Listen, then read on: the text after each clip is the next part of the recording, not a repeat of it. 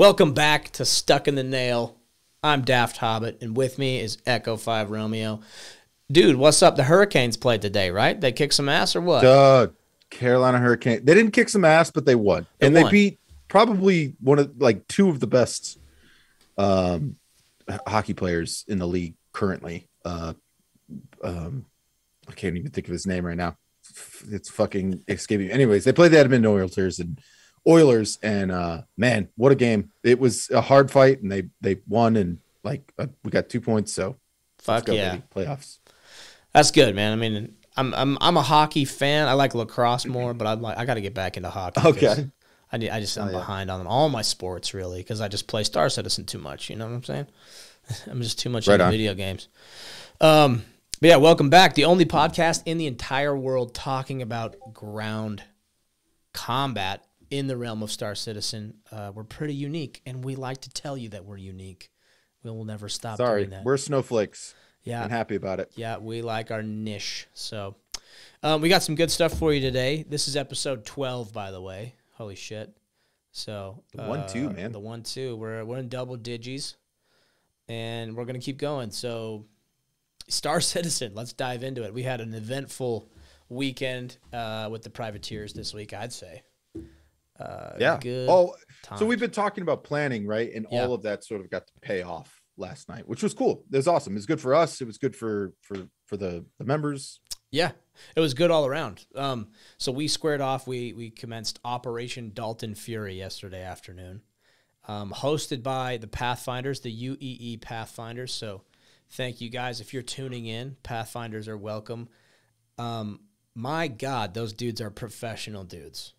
Like Not only professional, but they are fucking savage, man. Like they are a tough group to fight. Like genuinely a tough group to fight. I Mhm. my hats off to them. dude in the air like uh, i wasn't in the air neither were you so we've only we're going off of limited information from our air guys but they they had a, a, a solid fight last night with them and good Yeah. trades back and forth um, and just the adaptability pathfinders if you're listening the constant like bewilderment that we experience when we when we roll with you guys or uh, attack you guys or whatever when there's an exchange is like you're just extremely adaptable so quick. And in this game that's king. Organization and coordination is king. Like we say we've said this multiple times on the podcast right echo? It's like if you're a good shooter if you're good at clicking pixels good for you. It doesn't mean shit if you're in the Yeah. persistent universe. If 12 motherfuckers jump out of a valkyrie and surround you they will clo- they will locate and close with and destroy you. Right? Yeah. the, these the pathfinders are savages. That's the best way to do it. They're like they're just these professional savages so. Yeah, man. um dude we had a great fight with them in the cave. And uh well And you know what else I appreciate about the UEE Pathfinders is Hit they have this mil this milsim uh wrapper, I suppose, but they don't act like that, right? Like they don't Yeah. act like your typical milsim communities. So uh just they professional. Um yeah, they oh like man I mean honestly are they are putting a good name on the milsim community and I again that just great people to play with. Yeah, and they they got some excellent quality stuff. We're going to be linking their YouTube below, um, and their community because we want to keep working with them. And uh, yes. It's it's awesome. Like I honestly think we can learn much more than they can learn from us. Like I think they're a little bit more ironed out than we are. Oh, Um, yeah. And so I'm excited to do more operations with them, team up with them, go against them more.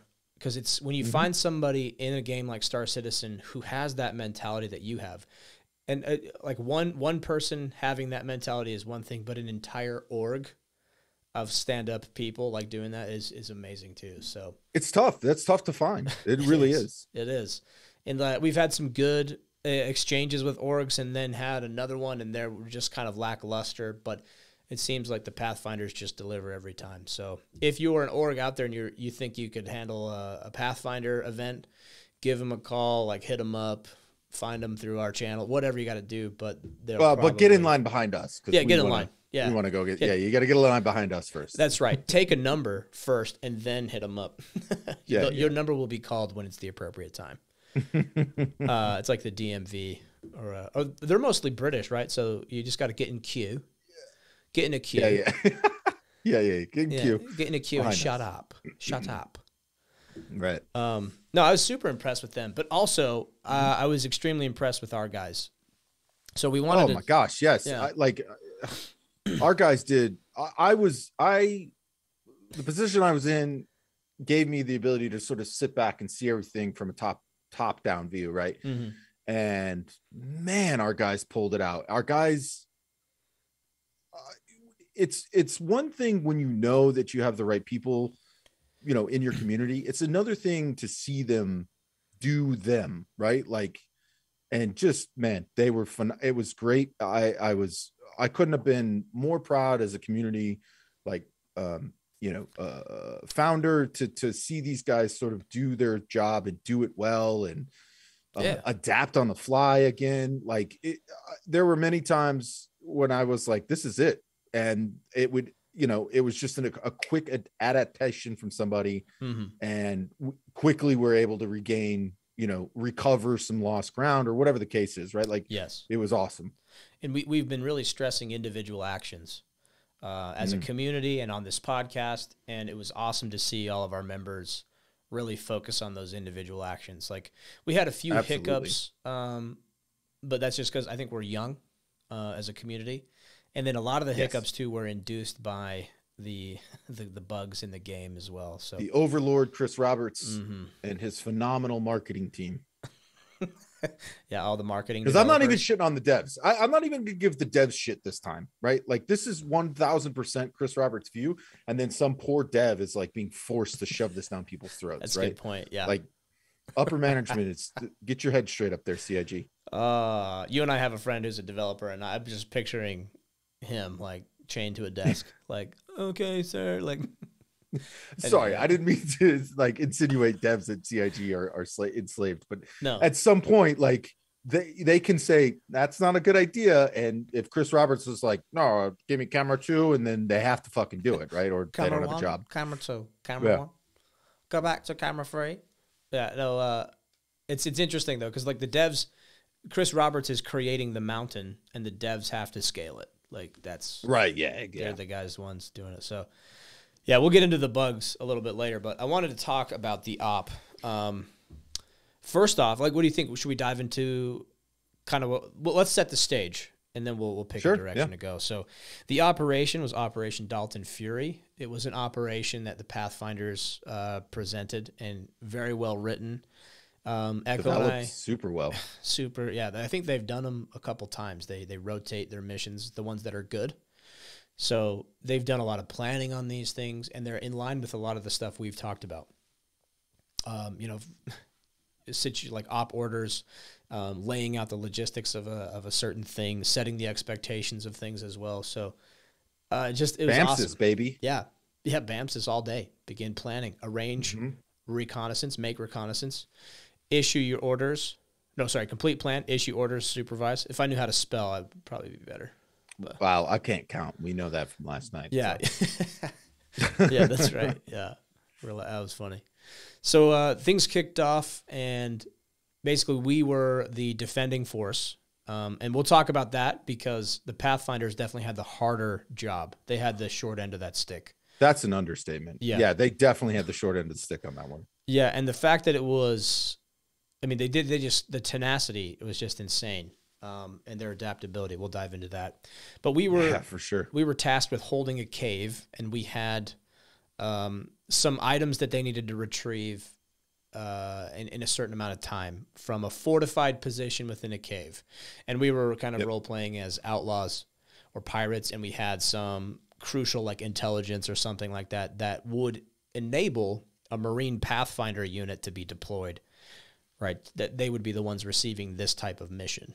So it was cool. It had an in-game. It tied in with an in-game reason and it tied in with their lore and uh, we were just glad to be a part of it. So Oh, yeah. yeah. we fortified a cave position and it was a cave that you couldn't access on foot. It had to be accessed via uh, something that flies. So to get out of that cave you had to fly out. To get into it you and land safely you had to fly in So um, I'll kind of let you talk about that. You Echo was the ground force commander from our troops. So what did that look like when we we went down to fortify this cave? I mean, I it was uh, a lot of good work, like prep work for us to sort of sit and watch and map out. I Chenkov, I, I, dude, the guy's a fucking madman. Just a great guy to have on your side. Mm-hmm. Um, ended up mapping out the the place in the cave where we were going to be. Um, you know, setting up positions and understanding the difference between cover and concealment and utilizing it um, understanding like and having a plan for like what happens if people come through, not just once, but multiple times, um, setting that up, just getting a lay of the landing, understanding like it, we call it red red selling or red hatting in in the military world, uh, where you kind of put the the hat of of your enemy on, right? Mm-hmm. Enemy in this case, and sort of opponent and and sort of play it as if you were them right like how would you take it over how would you do it and there was a lot of great back and forth i think in that one uh i don't have it up anymore but in that one little uh like initial recon channel we had i there was over like four or five hundred lines of text that that were submitted like just with all kinds of great ideas and you know devil's advocate and and setting all that up and then the ability to sift through all that, find a good plan, and then disseminate that plan to each individual team and then each member on that team. That was really cool. I was sort of hands off on that because I knew I wasn't going to, if I was going to be in the cave, I wasn't going to be really affecting anything in the cave. My job was to coordinate everything, like uh, coordinate mm. air and reinforcements and all that stuff. So, me being tactically involved in the cave while I had some input. It, like my say wasn't final there because it they're the ones that are in the cave. They're the ones that are fighting. My task to them was, you know, don't let anybody in this cave, right? Like that was my task, and they did a phenomenal job at ensuring nobody got in that cave. And if they did, they were they were weren't along very uh, alive very long. Yeah. Um, so we had picked out some some LPOP positions, uh, listening post out, out uh, observation post positions to sort of gather more information from how you know, and, and just running rehearsal after rehearsal, landing and getting off and and setting everything up and prepping and you know we had done a a full dress rehearsal with the OIC. So thank you OIC for mm-hmm. um, taking on that ridiculous task of trying to get into that cave and uh, highlighting some issues there for us, right? um, poke some holes in our plan with that. Um, so we had a lot of time to plan and practice and rehearse for this. And um, the team leaders, Chenkov and Vesper, did a really fantastic job. The team members were incredible uh, in the cave with their individual actions and understanding, like, okay, I, my job is to sit behind this rock and shoot in this direction. And no, like, as far as I know, nobody really like we started losing people, right? But nobody really lost their mind or got over eager and left their positions and because of that that you know we talked about individual actions because of that the team was successful in in mm-hmm. repelling assault after assault from the pathfinders so uh, it was it's it was awesome. It was awesome. Uh, it my was. side logistically there were some issues um uh, not only bugs but just some uh we'll call it uh ignorance on my part as far as the logistics goes because i'm learning this stuff too as as i play. I, I, understand the tactics but some of this higher level stuff is a little bit newer to me. So learning it and doing it and applying it are all different things and it's a learning experience. So i learned some stuff uh on the logistics side and the coordination side from that as well. So um how to do things better more efficient uh you know that that that sort of thing so yeah dude it was i mean it, from our stat, we, there's a lot of things we can improve on, and we've already bashed that with our guys. Very small stuff though. Like fundamentally, everyone kept their heads. Their demeanor was fantastic, and I think part mm-hmm. of that is because we had so much confidence in the plan that we had rehearsed.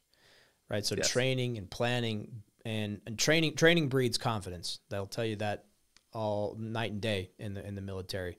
So the more you train and the more you train correctly is important, then the better you'll fight right? Yep. You, you, you fight like you train. So so we did a great job there. Um, and it, it, says a lot about you too, Echo. as a ground force commander, a lot of times in real life and also in a video game, if you're the leader, you're probably doing eighty to ninety percent of the the stuff.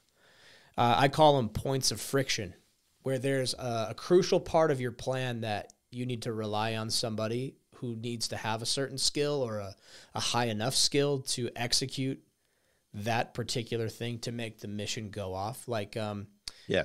like a dropship pilot, he's responsible for getting troops to the ground. Right, that's a point of friction. Um, a a grenadier, someone who's using a, a grenade launcher to deny access to an area or uh, entry denial or like hitting those crucial dead space areas.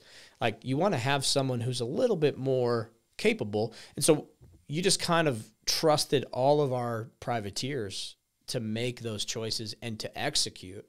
And that says a lot about you as a leader. So I appreciate you, man. Like I got to shout you out on the on this podcast because not many leaders are capable of that. They will uh, they will micromanage and get in the way and intervene and then next thing you know, they're the ones making the shot, you know, the buzzer beater kind of thing. You know, they're the ones Right. doing everything. And sometimes you got to, right? But the yeah, fact that you there's a fine line of like awesome. taking taking over but also understanding what your role is right and that Mhm. varies from the rifleman up to a squad leader platoon leader commander all that stuff right like Yeah. all of that stuff has a certain thing a certain set of responsibilities and expectations and um not just in gaming but even in the real military people overstep those boundaries right? And Yeah. i've unfortunately been on the receiving end of a lot of bad leadership like that in the military.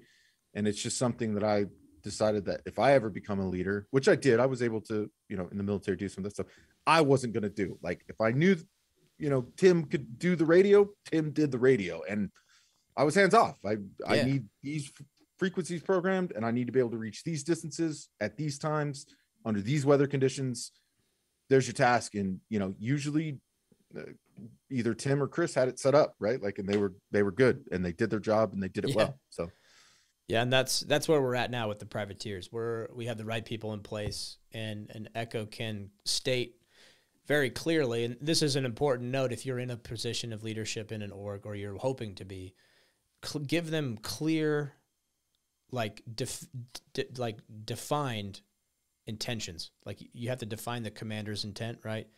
If you don't have a clear intention or, or something that you're trying to achieve, it's really hard to disseminate orders to people to get them done. Yeah. To, to chain all these these this preparation together to have what you Yep. need to get it done. So y- if you're in a leadership position, you have to be able to, you know, let let go, go hands off, and trust your teammates, and then just work on explaining your intentions clearly. Um, and part of that was due to the Pathfinders, just because they have an excellent op order structure. So the intention was set; it was clear, it was it was in stone. So Echo could go hands off and let us and our team leaders develop tactical level plans and accomplish his intentions. It was it just went really well.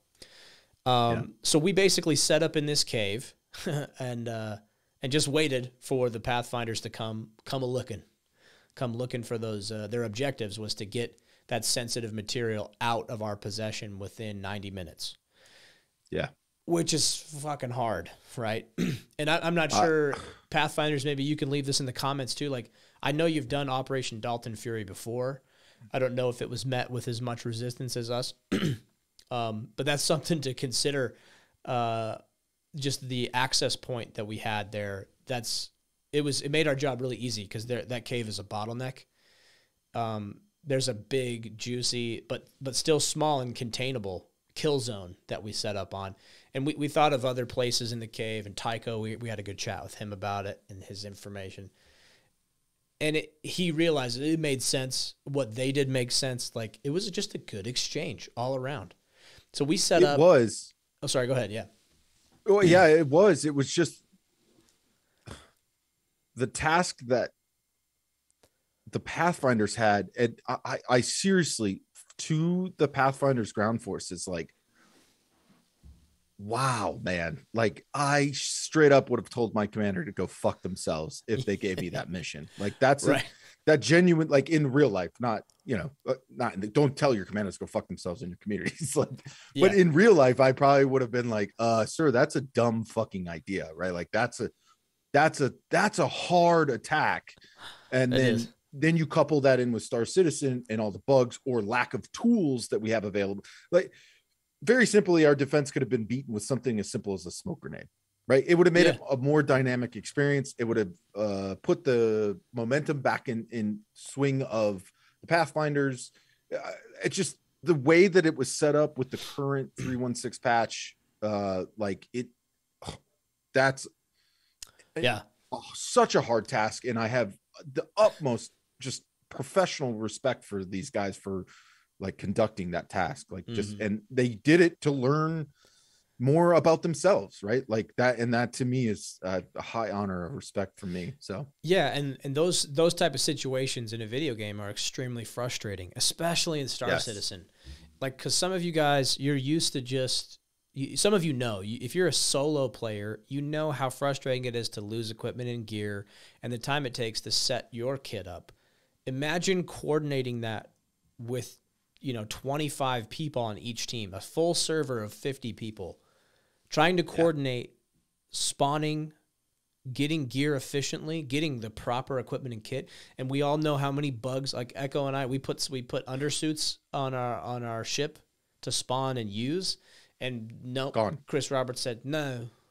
nah, Camera not two, today. camera You're two, good. You don't need those.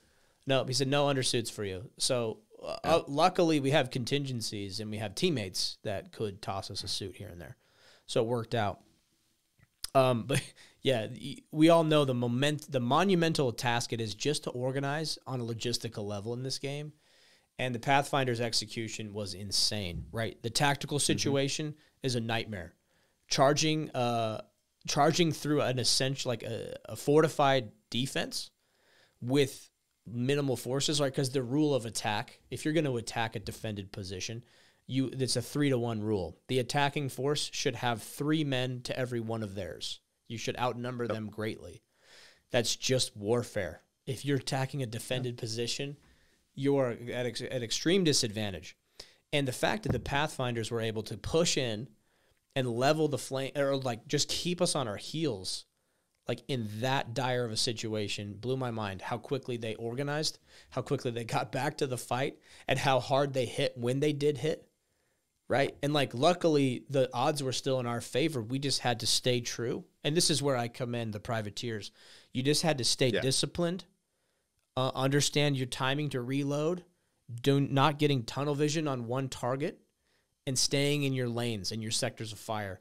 And that's so fucking hard for video gamers to do, to get down. People, It is incredibly hard. Like I, I don't Yeah. want that to be an understated thing for Yep. someone in a video game to just be like, it's a fucking video game. Fuck this. My life doesn't matter. Yeah. I'm just gonna run up there and do something fucking crazy.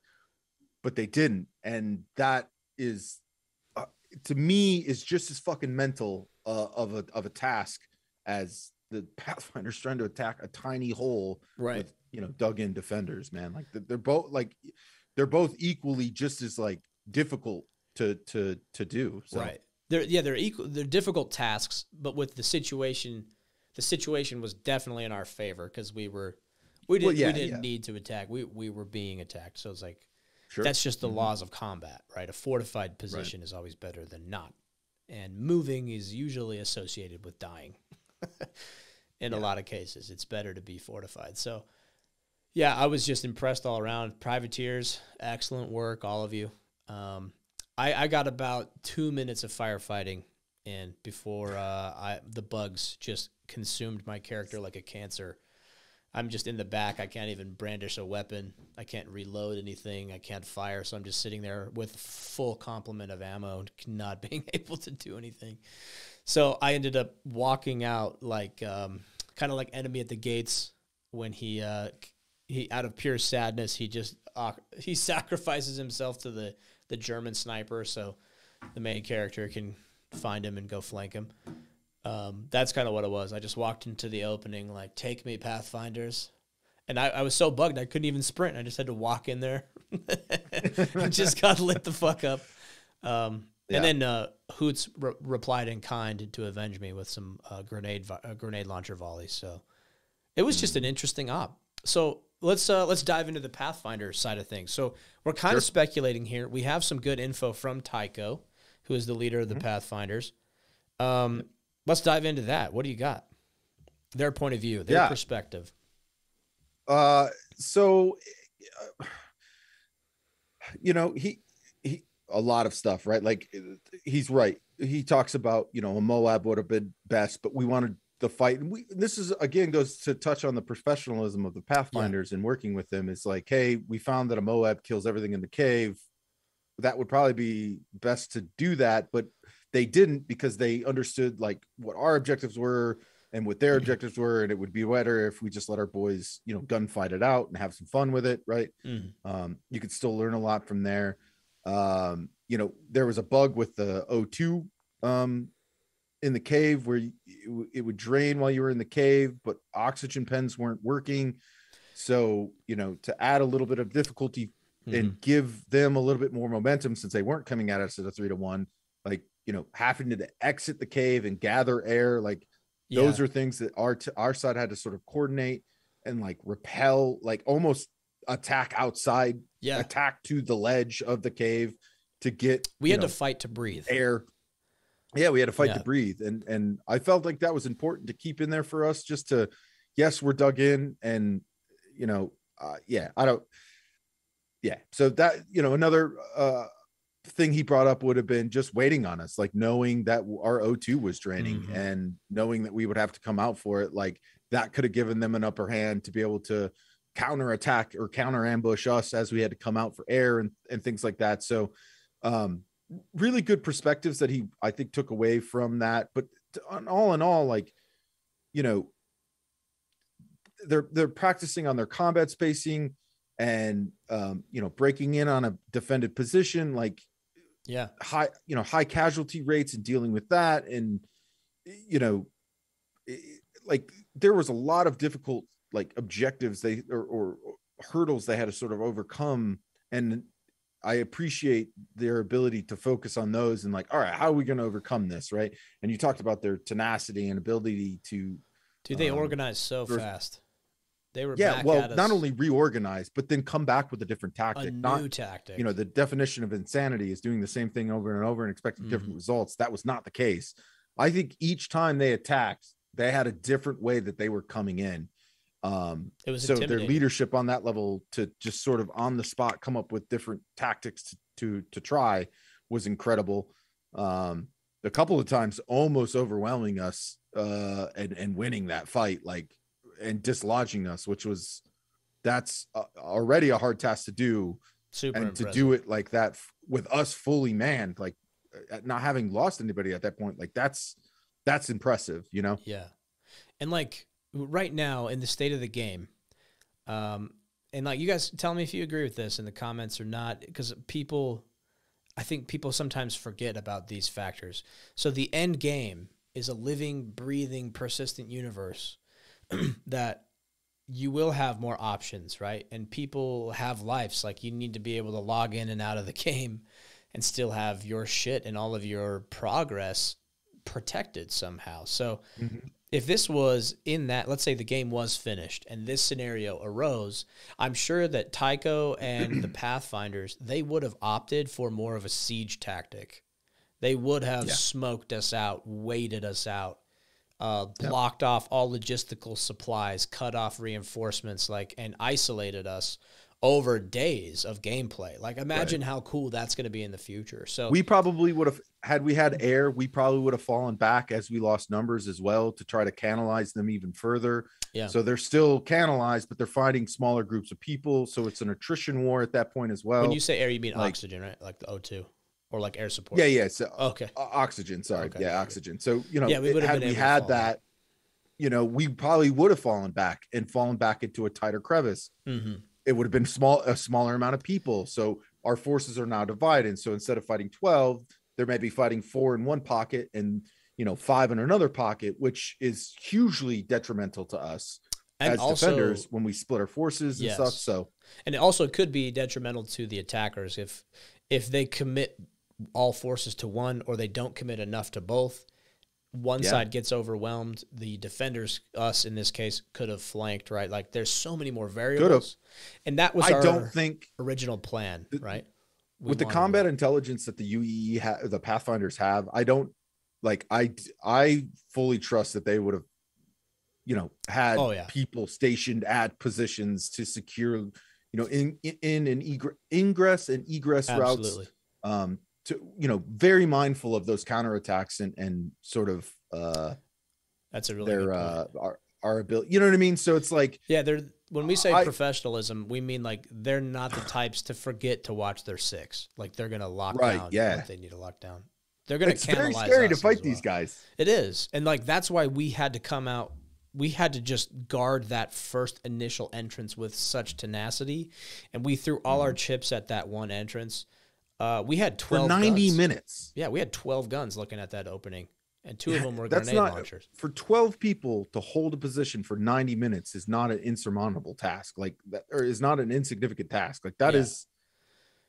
i mean things start oxygen starts weighing on you food and water like even though it's kind of broken it's still a thing right like Mhm. if you're in the middle of sipping a water while they push their counterattack uh, Yeah. uh, push another attack through now they've caught you off guard right running to different spots to pick up ammo right or in Yeah, the middle of reloading or, or whatever like those are Yeah, those healing. tactical pauses that we Medical. have to yeah healing that we have to take you know those are those are weakness weak points for us you know Yeah, and, we're so it's very constricting because if you know we we had to concede like the the opening, so being online with the opening of the cave, yeah we had to kind of concede that and stay hidden in these slices of the cave where we have the most advantage, forcing them to make entry.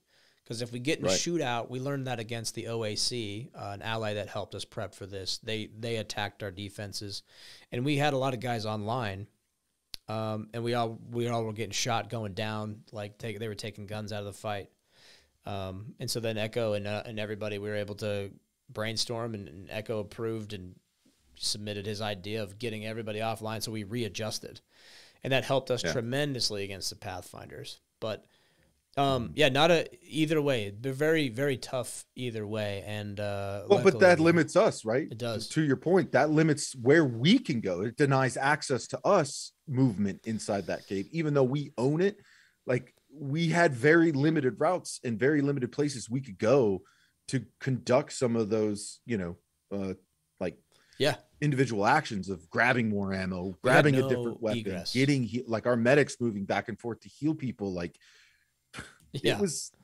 and it was I- not a cakewalk inside that thing.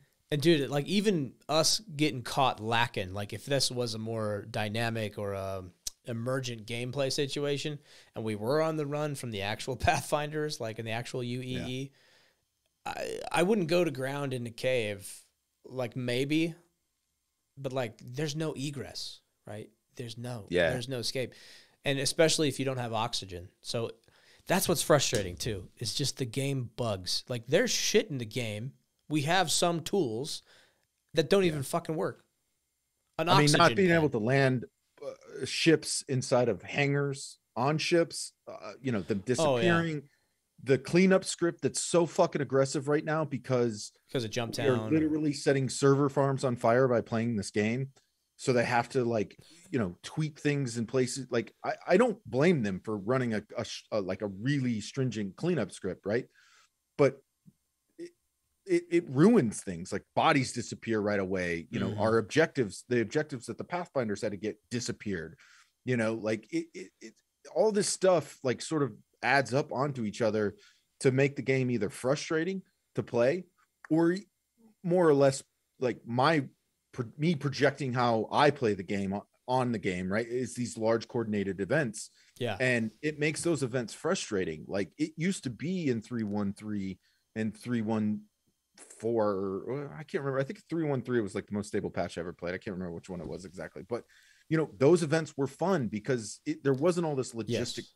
In like stuff that we had to worry about and and sometimes it's good to have that stuff in the game and other times it's just like you know my prep for this the week prior was literally spending six hours over a week of time playing this game Yeah. to get all my gear into a ship that i needed and then moving that gear to the place that it needed to be and then s- s- like stocking that gear with all the little nick nooks you know things that i needed med Yeah. pens oxy well not oxy pens but ammo uh, Yeah. attachments and all that Chem stuff is spread grenades, all over the verse food, and it's water. like that's where i spent my time in star citizen was playing Yeah. a playing Tarkov backpack manager, and I, it was not fun, but I know it had to be done. Yeah, playing like low, like like thirty-two bit Tarkov. Like you put something in a pocket, it's not there in ten minutes. It's gone. You don't know where the hell it went. You take a rifle off your back, it's lost in the eternal sea of all of the weapons that you just happened to collect.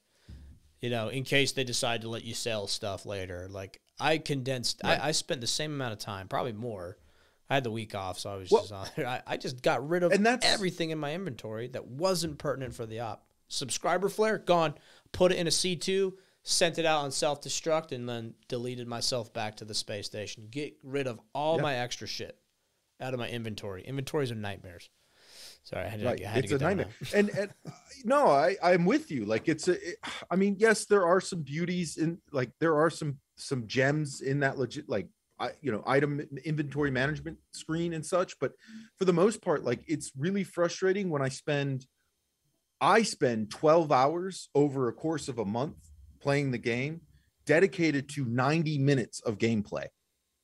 So to think about that, if I'm spending three, four hours, you're spending three, four hours, Chenkov, we had 12 uh, in all in all, we had 25 people preparing for this. And if they all spent, let's say an average of two to three hours preparing for this, that's 75 hours of gameplay spent preparing for an hour and a half of gameplay.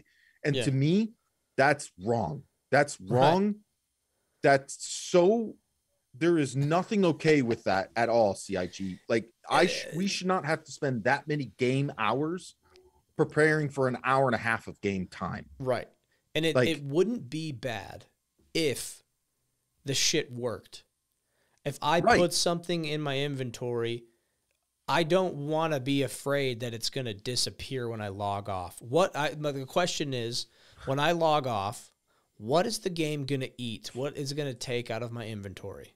Right? Are there any right now if you put two guns on your back with a backpack one of those guns is gone Yeah. you can guarantee it Absolutely. you can set your fucking watch by it Yeah, everybody's got like it, it. It targets people differently. Like, like for you, Yeah. it's that one gun. For me, it's like my armor chest piece is always gone. Like, or your helmet yeah. So I like even if I strip naked before I log off and put everything into the inventory system, I I still I can't find that exact item again. Um, and even if I, I use all the hotkey or like the filters, it's just really hard. So I literally got rid of everything because a lot of organizations out there, the Pathfinders, we we do the similar thing. We all have like an org uniform, right? So I literally got rid of every single un- piece of gear that is not in my uniform, and it took me almost two to three days of like my play sessions. My standard play sessions like an hour and a half. yeah So there was like two or three four days of just logistical management in my inventory to get ready for an op. And that was my point earlier is like, I hope it's not like this. Right now, we live and die by 90 minutes, mm-hmm. right? Because that's how much time people have to play. And it does require so much preparation. We have to prep for an op at least a week out. If you're going to like throw some unique opportunity or some operation at somebody, they need about at least a week to get all of their guys up to speed because of life. Now, if this was a 24 7 job, we could be ready in a day, but it's not because everyone's got kids, everything. So the game is not going to be like this, the end game. It's going to be more emergent. You're going to have finite resources. You're going to need Yep. to have people online at certain times, right, to do things effectively. But it's going to be emergent. You're going to want to attack a group when when they're not all online or when they're at half strength, right? Just like you would any enemy. You if if they move forces around, you want to hit them when they're weak. But like this situation, we forced because the way we play the game, because we have to set up an opportunity or operation for a set amount of time, it forces the pathfinders in this situation to do something that doesn't make any tactical sense, like bum rush a fortified position for a few boxes. Like that doesn't make sense, right? So in the future, it will make a lot more sense. That's when Tycho has more opportunities to drop a, a bomb on us, to smoke Yeah. us out. You know, chem, chemical grenades, like right, cut off our, our our supplies and do more of a siege type tactic on us. yeah So he's Well, keeping his I life wanna- I- alive. I also want to highlight how difficult and frustrating we're talking about FPS stuff, right? This is an FPS Yes. podcast. And everything you just said right now is is fun to us, right? There's miners, there's people that like to fly in ships, And I would argue that all those bugs and everything is turning people away from this type of a gameplay, right? People Oh. don't do bunkers on the ground No, the risk because their shit's missing.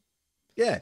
So they don't like because the ships are working, gear. they hop in a ship and do bounties. And and you know, there are some masochists like us, right? And the and the Pathfinders and OAC and other things that do partake in that stuff, even with the bugs.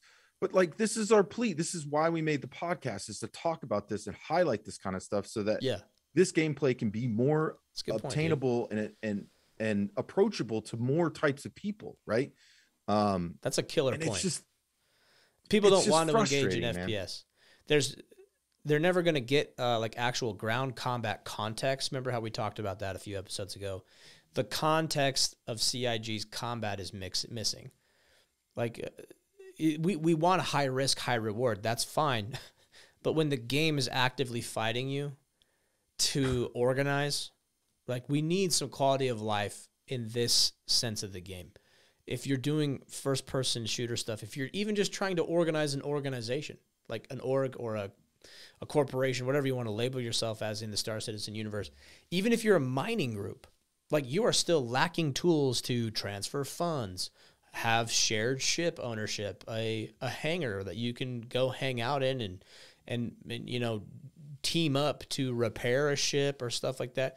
Like that's what I want how cool would it be is if we had a, a combined space that we could all share that i could give players permissions on my ships to go use that i could dedicate a ship use, usable for the community that i'm a part of so like there needs to be more org, org tools for those organizations and there just needs to be more more logistical tools because it I, i'm sure some of the people in the pathfinders had like a kind of a sour taste in their mouth right and I would have. I would have too. I mean, it was a I great if. I'm a Pathfinder right now, I'm I'm kind of I'm kind of miffed, right? Mhm. Like I- would be. I mean, they're professional, so I'm not saying they they were or they show that at all. But just knowing myself in that type of mission, excuse me, I know that I would be like, man, I'm a little bummed, you know.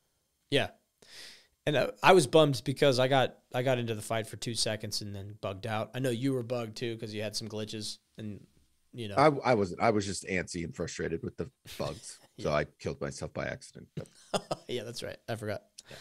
It's Yeah, the equivalent and of then, not um, turning on your ship shield, or your tank shields. Yeah, shame on us for not having a more robust respawn and reinforcement plan. But you know, But- the plan we did have, the game ate probably seventy five percent of our ships that we were going to use for that. So we had all of our eggs in one basket, and it was a Pisces. Yeah. So whoever shot Uh, us, yeah, and shame on you're right. Shame on us for that. But I mean, what what did we do in that situation? Yeah, You know, like, the um, we did have another part of our plan. So Pathfinders, you might find this interesting, but in that opening, we were going to canalize, trying to canalize your movement even more. Um, because if you if you put certain gear and equipment in like a C two and then you self detonate that or self destruct it, it will leave those cargo boxes. So we were going to put about four or five of those with tractor beams just in the middle in the fray, just to make it one more obstacle. Kind of use them as barricades to to canalize your movement, or maybe take some guns out of the fight for a little bit while you tractor beam them out of the way. Um, they're easily defeated. There, it just takes more steps. It just adds to the chaos. And Mhm. we had planned that and rehearsed it multiple times. And then on game day, I, that was my job. I flew a C two down there, landed it, and self destructed it like normal, and it blows up and didn't give me any boxes. The game just ate eleven. That's the that's the uh, that's the uh, equation. You put eleven Novikov suits, undersuits, right? The big bulky Novikovs in a C two or whatever, a big ship that can hold them, and you blow them up. It will spawn multiple cargo boxes to hold that cargo, so it persists. But I think it's because of the such aggressive like cleanup scripts. Like it just it didn't even know what to do with them. It just fucking wiped them.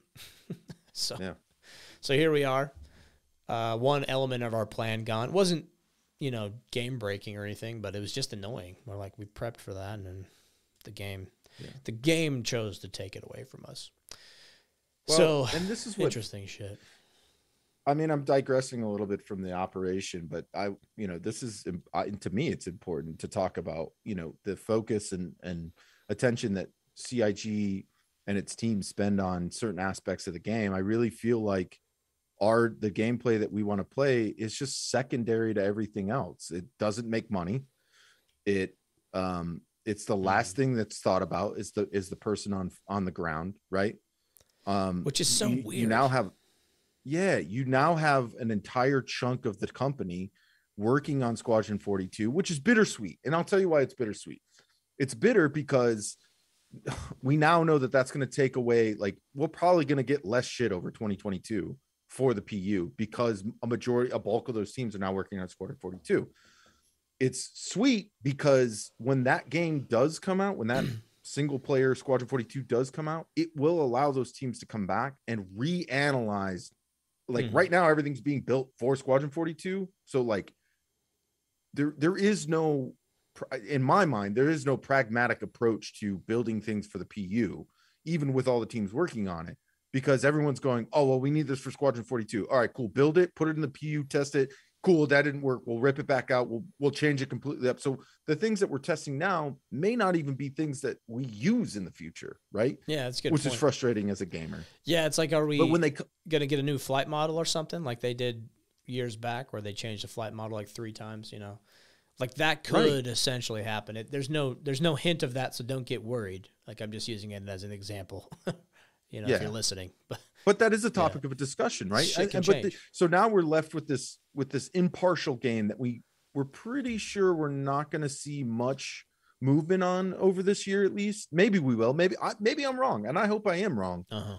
um but when they too. come back to reanalyze the game the focus will be the pu right? And that's where the sweetness comes in is that all those teams will come rushing back focusing on the pu and and pragmatically a- a- approaching like oh, okay well crawl rock, crawl walk run right? We, everybody is a first and foremost a, a a playable it has a character a body a thing. Let's focus on that and then build up from there. How do they fit into the Yeah. ships? How do they fit into their environments? How do the npcs react to that right? Like and Yeah. then when we got this game it was about the ships because that was the easiest thing to build and it made the most money right? That's where we're why we're at 440 million. And i am not knocking star citizen for that like cig for that. Good for you. You've crowdfunded a game but now we're at the point where you have fans of this game dedicated fans and we're kind of like oh okay the allure right has been it's the curtain's been pulled back and we understand the game Yeah. and the development process and everything. And we're just saying like well that doesn't make sense to us. Why are you not why are you doing it that way when yeah, you know the, the common shiny sense to me says this right the shiny new ship allure is is is gone for most people. yeah We're excited. We're like, cool, new ships. That's cool, but like, c- Yeah. come on. I get and I more excited genuinely about love this game. I love the devs. I love CR's vision. I really do. Like, Mhm. I am sold. I'm not going anywhere. But I, I feel like I have some room to be able to criticize a Oh, little bit, right? Especially as a content creator now. Like, I think it's it's imperative as content creators we don't we don't weaponize our viewers, but we you know we've we voice our frustrations. Yeah, we're not gonna lay out down in the public. Right. Yeah. And and You get that out there. And then we can move forward together as a community and a developer Mhm. working together to create the game that we all want to play, right? In in reality. Yeah, and I guess to kind of summarize that this topic, like we're we're talking about this because we experienced a lot of bugs over the last weeks preparing for this op against the Pathfinders. Um, it was still a great op um, because of the level of professionalism that we both have. So here we are on our platform, stuck in the nail. We can gripe, we can bitch. We're here bitching. So that's how we do. I love you, CIG. Yeah, but we do. We're really in it. do. We're here. Like we, we want to help with these things. The community can help with these things. There's a lot of people that ha- share our perspectives and then also can expound on it better than we can too. So like, Yeah. you know, we're just here to get it out there. Um, Yeah, I digress super hard there. no, Sorry. it's good. This is 'cause Discord all over again. Yeah, I know the Pathfinders they experience their share of bugs too, and and we just have Right. contingencies for things, but it is very limiting in our gameplay and stuff. So, um, but yeah, back to the op. I thought both sides did fantastic. Um, by by definition, I guess the privateers we were successful in stopping their win conditions from being met, but I think it was Mm-hmm. a win all around as far as like just getting a good old fashioned fucking gunfight You know, Hell in- yeah, in man! It was fun, So and the good. guys had fun, right? And that really, at the end of the day, it's a game. Uh, one of our our compatriots from the Mighty Eight said it the best. Like it's a game, and I think all of us had fun. And at the end of the day, That's win, what lose, whatever. Like I had a blast. You know, Yeah, and uh, and we gained a lot too. We learned a lot about Mhm. uh, you know us us as teammates, and we we saved that those instances and those individual actions that we did. That's all saved in the team data bank, so we can pull on that. Yeah. and Say, hey, this is similar to that cave we did, or this is a very similar situation, or whatever comes up. Um, but we did Or- have some good ideas in the form of AARs too, right? yeah, yeah. And before we dive into the AARs, like I want, I kind of want to highlight some of the ideas we had um, Sure. that kind of threw the Pathfinders off a little bit. Hopefully, it was something new for you guys, but we we were able to slip a Nox, two Nox bikes into that cave. Uh, it's doable. It's just a little tricky. So we got them in there, and we didn't want to use them like we're like, haha, size one guns, bitch. Like that's cool. We wanted to use Yeah, the headlights, so we basically used them as just um, like big Spotlights. Uh, spotlights. Yeah, that would Which just you would do if you were in a defense. You Oh, would have giant, you know, yes, you would have turrets and emplacements and towers and all that shit too. But and sandbags. spotlights are super, super dope.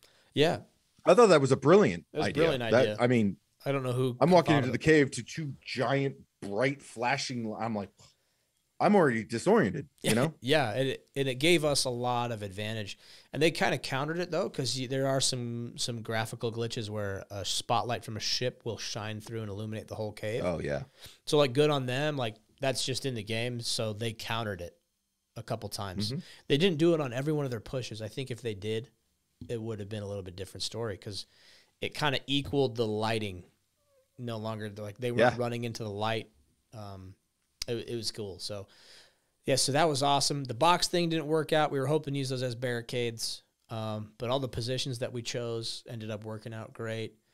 Um, grenade launchers, dude. Again, just I props to the Pathfinders for not shying away from grenade launchers. yes, That's a big, big thing for a lot of people. They think that game or grenade launchers are game breaking, that they're, you know, they're not fun. So th- the answer is to allow them, but you know, put some restrictions on them. And, and we're not the type of group that's gonna have everyone have a grenade launcher. That's just that's cheesy to me. Yeah. Well, there's there's pros and cons with that, right? Like if Yeah. you're a four man group inside of a cave, you have all you have all this the displacement and, and dispersion to fire four grenade launchers into a hole.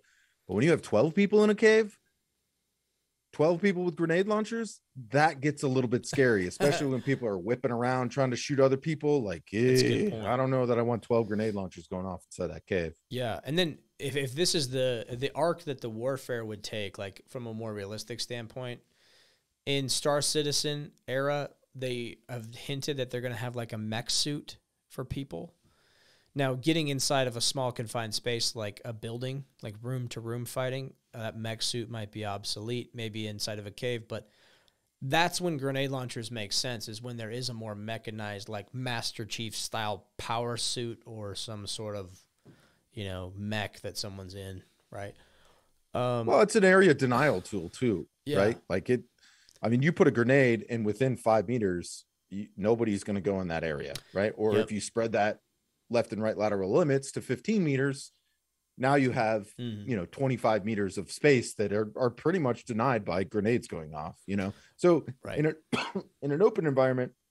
Or even in a closed one, like we were, right? We could close that door all day with two grenade launchers, and that was efficient enough. But they still have a cadence. They still have reloads they still have all this other stuff that they have to maintenance that they have to do to keep that it's not just to hold the trigger and grenades just fire out Right. forever too you know? Right. It still takes a lot of user proficiency to Mhm. to deny an area like that um, for a extended for 90 minutes.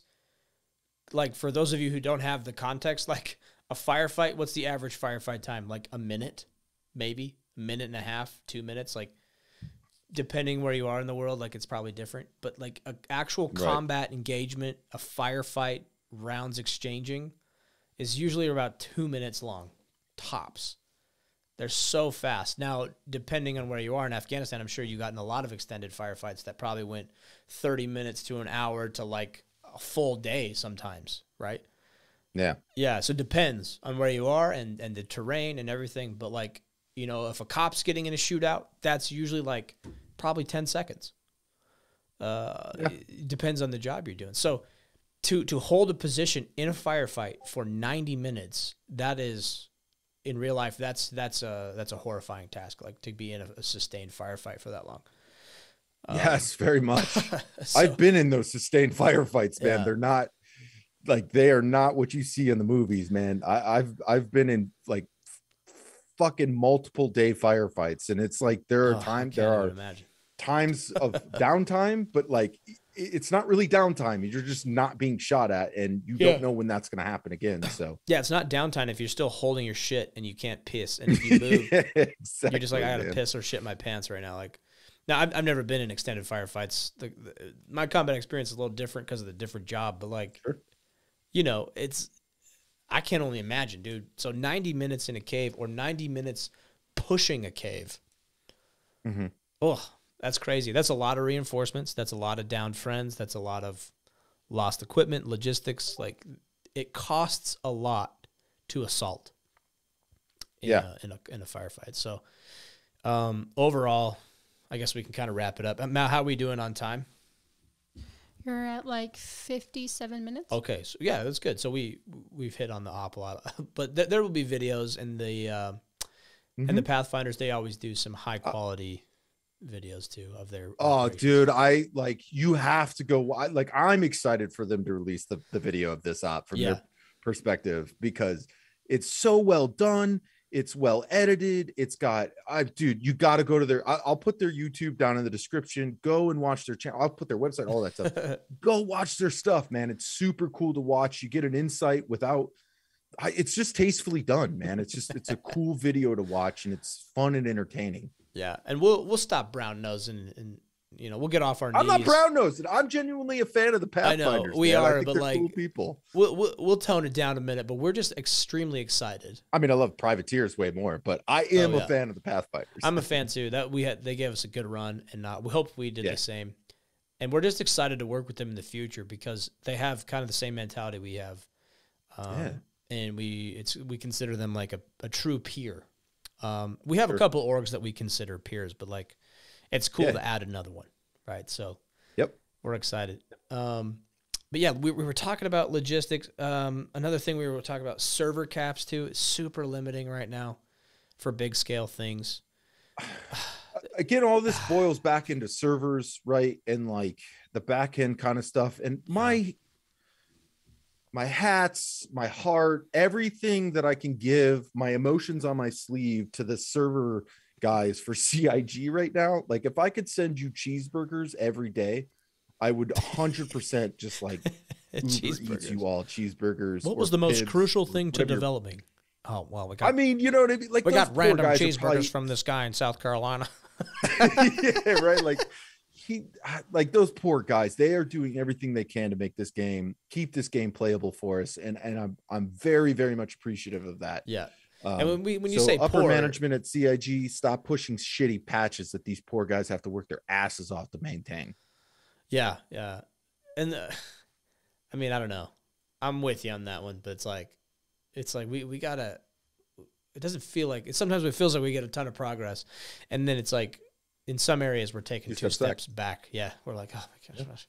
like yeah, we fixed everything. We got all this cool shit, and it's like, well, the tool that you've had in the game since nearly the beginning, Well- oxygen pen, doesn't work. So when I cool. sub, when I subbed to this game, when I like fully bought on got on board and bought my first ship Mhm. uh, back in 2015, whenever it was, I I was very much looking forward the, to the barista, and I'm finally glad that in 2022, everybody, we will get a barista, and Yeah. it will serve me coffee. And you know what? I probably will just un- uninstall after that. That is the only thing I wanted to do You're in like, this huh. game. And I'm my hats off to Chris Roberts for pushing and upper management for pushing the barista. Yeah. So thank you. And um, I don't think I need to play your, your game anymore once I receive a coffee from an AI. Yeah, So there thanks, you have guys. it, folks. We'll be uh the privateers are as soon as that barista's up, you know, we're gonna be it. It's baristas It's in done. the We're hanging our hat. We're gonna be Yeah. we're gonna retire from from ground force combat. and uh, you know FPS stuff, and we're just gonna be baristas in the in the verse. Baristas. Yep. Yeah. Well, I'll have you know, me and Echo, uh, we once we once we were bored and we did some RP at Casaba for like three hours at Grimhex. We just acted like NPCs in Casaba. And we would stand like in emoji stuff, and then like someone would walk in, and we'd be like, "Oh hey, what's up?" uh, that was some of the, the the best Star Citizen moments I've had. Was at that day at good. Casaba, just role playing like we were like, "Well, do you know?" Oh, you know why we did that? Because the game was fucking broken then too. Oh yeah, the game was broken, but we still wanted to That's why we did that. That's right. Yeah, we're like, hey, uh, do you know we're having a sale on some Anvil aerospace hats? Thirty percent Yeah, off on it was a good time. Get some boots. The res- the response from players was, which is what made it worth it. Yeah, because it people be required like, CIG to do nothing but make a beautiful JPEG for us to stand in. So exactly.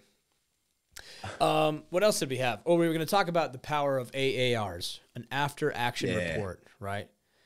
Um, super helpful. I know that the Pathfinders do AARs. I don't know if each member is required to write one. Uh, it's just like a paragraph or two, right? Just your thoughts on the operation. It's an after action report. Um, how many AARs do you think you've written in real life?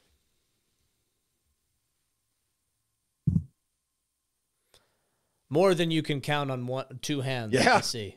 I you mean, struggling yeah, a I lot. I don't know, man. I've Anytime. longer than I've been alive, more than I've been the years that I've been alive, at least. Yeah, that's like the worst part about any type of job, like being a cop or doing contract work or being in the military.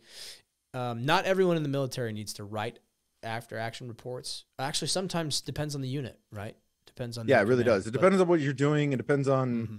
what unit you're in. You know, uh, I, I did. I had to do them all the time. Um, I initially I didn't care for them, but once I had access to other AARs from you know after action reviews from other people like other units, and I was able to read them and learn things from that. Like it became very clear to me why those are very important. Yeah, Um, uh, because you're not always going to be in every situation. Um, also, you're not ever going to see every point of view, and so seeing right. a single situation from 19 20 different points of views are is genuinely important right it helps push so and progress entities forward Plus, if you like, if you take some individual actions that you thought were pertinent for your task, you, sometimes you might be making the right decision, or you think you are, and you might be severely hindering some other element by some of those actions taken.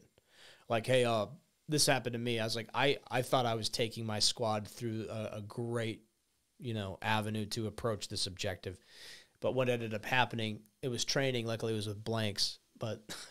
I ended up cutting off part of the support by fire's position. Like they, they couldn't employ their weapon systems as effectively Yeah. because of my dumbass. But I didn't know about that at the time, and it wasn't put over the radio, like because everyone just had to adapt off me. And I thought I'm like, oh, I'm making this great fucking like, you know, uh, General MacArthur style tactic.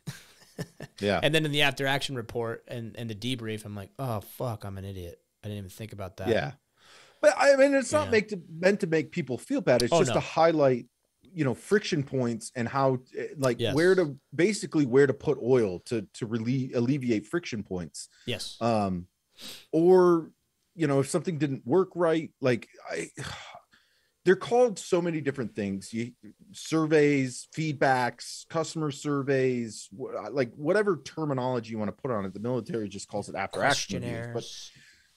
the questionnaires right? Like these are important for our, ourselves right? Like uh, us in our community and people in our community members in our community are required to write these things because perfect example it spawned a good discussion about our com structure and it spawned a, a couple of things that i wasn't really aware of that were going on in a negative fashion not that anybody's going to get in trouble but these are things that are i am now aware Mm. of and we can work together in a small group or as a community to sort of reduce these points of frictions going forward right Yeah. and so that could be with tactics that could be with sops it could create or dismantle sops like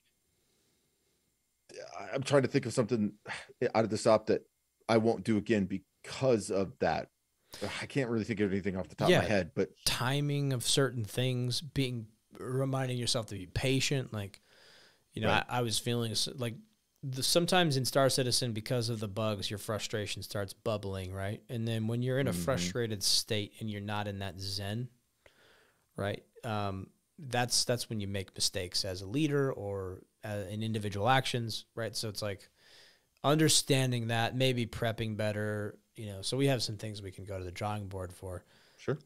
Uh, yeah, that's it's a solid, solid point though. It's it's just so crucial to be evaluating oneself. If you want to improve in life, let me go like little Zen mode on you here, a little guru. But like uh, I've made some leaps and bounds in my in my personal life, uh, in my career, and like in the amount of revenue and money I can make for my company, and, and then therefore salary and income. Right, so um, I'm not where I want to be, but I've made looking back at where I was, like I'm not down and out anymore, you know? So it's just been nice. And that's come from self evaluation, looking at myself and being like, "Ooh, okay, it's- not my employer's fault that I didn't make a paycheck or like that I got fired or like whatever. I used to be a piece of shit in that regard. It was never my fault. So going going inward and introspective, it was like I had the hard decisions with myself and be like, I I am the problem, right? And so I had this mm-hmm. like this aha moments moments plural and was able to kind of build some better disciplines in my craft and things that directly impacted my income and it's the same Yeah. thing i did in the military often it was so simple then because it was like improvement to stay alive and then you go and like work a civilian job and like somehow that just went out the window for me it was like i still need to mm-hmm. be improving every day and it's the same thing with Star Citizen. It's a very simple ask for our guys. It's like, hey, look introspective, like, look at our org, look at the operation, that situation, and then kind of look at yourself as well. And Yeah. What what could you have done better? What what did you do well? What did you do bad? Where's the improvement? And then also the sustainments, right? So that, I guess we could talk about the nomenclature of an AAR. What do you want to see as a leader of an org, the privateers? Um, I'm going to go over them as well because I'm I'm right there with you. But what do you look for specifically in AARs as far as like structure? Uh, as far as structure, I don't really have like. For me, it's not about the structure; it's about the content, right? And, and Mhm. if it's one line that sums up your, what I look for is perspective, right? Um, I was a, I played a certain role, billet, and somebody else played a certain billet, but just because I saw what I saw from my billet doesn't mean I saw the same thing or he, you know, this other individual saw the same thing from their billet. And so it's really, it helps me to go back and go, okay, uh, well, as the GFC for this, like, what could I have done better? Mm-hmm. And it's uh, sure I can go introspective, but if somebody makes a- an innocent comment like, yeah, the logistics took a little too long. Well, now that gives me somewhere to look, right? Like, okay, the logistics took too long. And then I could reach out to that individual and be like, was there something specific about the logistics that you didn't like? And they could be like, yeah, I think trying to stuff three Pisces into an 890 jump was stupid. Good point. Okay. Do you have a solution? Okay, cool. I'll, let me listen to that solution. If not, then I'll have to. That's where I can start to go. Yeah. Okay, logistically, how do I do the response next time? Right, and that's a whole part of like. So it's that, and then it's you know, it, because we are creating our own missions and our own events and play sessions. Like understanding the mission. Did the mission make sense? Like, did the overall goal make sense? Yeah. if not like well i'm a rifleman and i didn't really understand what i was doing but my team leader was good at like tasking me but you could tell he didn't understand what he was supposed to be doing either so we just did something to look busy or whatever the case is right? Sure. and it's like oh okay well the objectives for that particular mission we created were not clear and defined well enough so we need to go back and refine those. And so next time we play that mission it's it's more fun more right? People Yeah. have things they do. So i don't really look for a structure per se. I look for different perspectives on like and consistently across multiple AARs if multiple people are saying the same thing from different perspectives that's a point of friction that we probably need to Yeah. look at and and, and uh fix That's So, a really good point. Yeah, I guess I guess um yeah, the content is more important. The the perspective gained is more important. Um I say loose structure. I mean, we do like title it, right? Like put a title on it. Like what operation was it? What was the date? Um, what Right. what your rank or role or however your community structures that? Like where are you in the community and what was your job or billet during this Mhm. operation? That's like up in the title. Um, and then in the core, uh, we just do like a sustains and improves is kind of a loose. That's about as structured as we get. Actually, the more I think about it, just Yeah. label it so we can find it later, and then tell us what you thought we did well, something that we should sustain and keep doing, and then something that can improve. At least that's kind of the loosest structure we could give. Um, if you guys want to get real rigid with your structures, there's a lot you could ask for, like, um, and this is after action, right? So this is a great time to gather intelligence too. Um, so maybe we we work that into our maybe we do have a little bit more rigid structure on that because if we're going to go fight the pathfinders again, an after action report is really great to gather all those perspectives and gather more details. You know, like I noticed that these type of players with this kit did these things, you know, because we can all pick up those little details as if we all pick up one piece of this puzzle and then in an after action report we type it in there. Now you, Echo, or the org leader, right, or the commander, whatever, has lots of puzzle pieces now you can connect. So that was a big Right. one in the military. Is um, if you got into contact, like the intel guys were like all over you. They like wanted to know, like what what did he look like? Did he have any scars? Did he have any uh, tattoos? Do you have any pictures of it? Do you have it like this? What did you see? What time of day was it?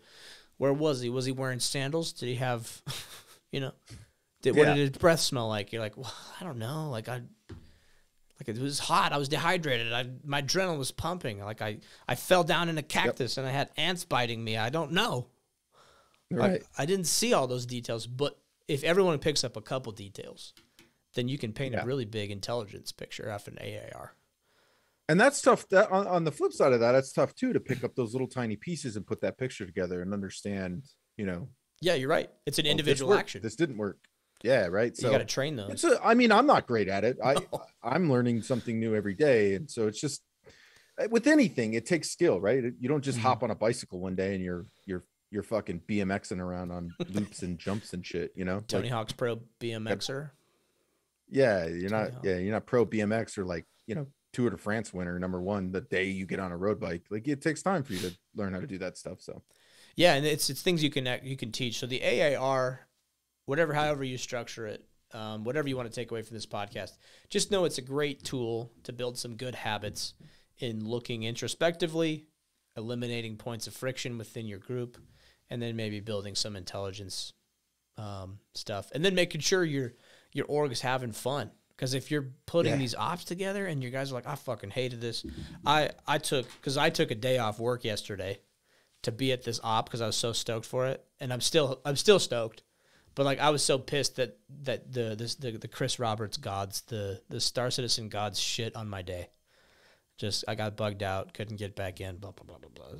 You know, and a lot of people were experiencing that. I think we had like nine people on our side disconnect at one point. Like Uh, there was tw- Pathfinders like. I think in total, yeah, all at once there were like 25, 20, 25 crash to desktops like that.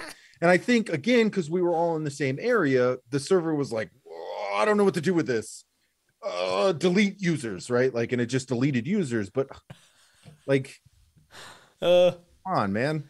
That's so funny though. Like you know the the scene in Wayne's World when they're playing hockey in the street Yeah. and the car goes by and they're like, you know, car, car, and they like pull the goal over and like stop and game on. That's kind of what it does. It's like Yeah. disconnect. Oh shit! And then everybody spawns back in their pilot seats. Like game on. yeah, it was just, Uh, oh boy. So yeah, nightmares there. But like that stuff's unavoidable. But it's important to know, Yeah. like, you know, your your dudes and people in the Pathfinders or our, our privateers, like they dedicated a lot of time in preparation for this and maintaining their skills and their mindsets. And then and then on game day, it's like we're fighting uphill against the the servers, against the game.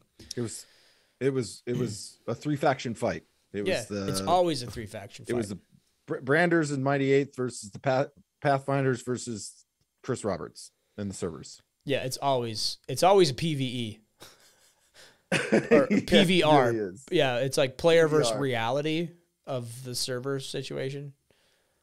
It's a new type of Oh. gameplay. It's emergent. And I was telling the guys today too. I was like, we are literally in a different, like uh, a parallel universe to uh, Starship Troopers. The only good bug is a dead bug, and then we're over here playing. Right. The only good bug is the one that gets a hot fix. Like you know, we're just fighting Maybe. these bugs. When 85% of the company working on the game is working on one single entity.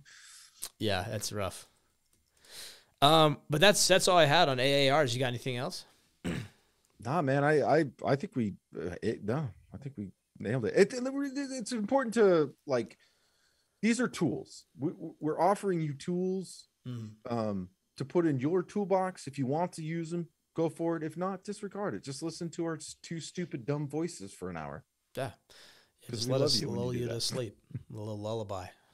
A little Star Yeah. Citizen lullaby before I And go to bed. maybe at some point somebody's going to come out and be like, "Hey, I used your AAR idea, but I I had a better I, I this is how we do it." And I go, "Oh, fuck, that's a brilliant idea." And you know, we implement it. So the, Yeah. the exchange of information back and forth it's it's not just us to you, it's y'all to us as well. And you know, we want to hear your feedback on it. Yeah, we do that too, but we like, you know, do it anonymously or whatever. And it's like, "Oh, that, you know, maybe that's a good idea." Dude, it makes my day coming log, logging in and seeing the comments in, on YouTube or some of our Reddit comments and stuff.